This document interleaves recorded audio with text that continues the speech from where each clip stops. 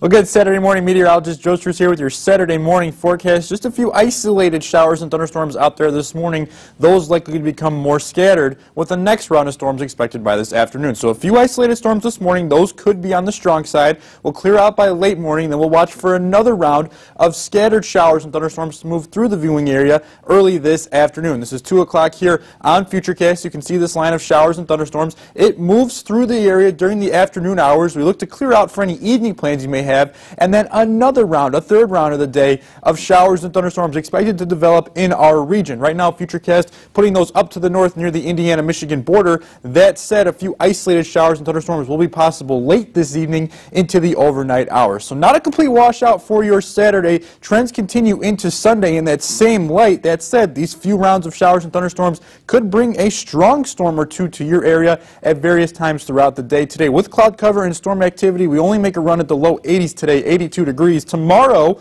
we look at the chance for some showers and thunderstorms early in the day and then late in the day, so enough time in there to get partly cloudy skies, see the sun. We'll see temperatures up near the upper 80s for your Sunday. Very humid weather starting today, lasting through the next few days. That's accompanied with hot temperatures, making a run at 90 degrees on Monday. Another chance for some showers and thunderstorms around on Tuesday. Still, though, looks like we'll be able to maybe make a run into the mid to upper 80s there upper 80s again in the forecast by the time we get to Wednesday, and then we fall back down to the low 80s Thursday, Friday, Saturday. Much more comfortable weather expected by the end of the work week.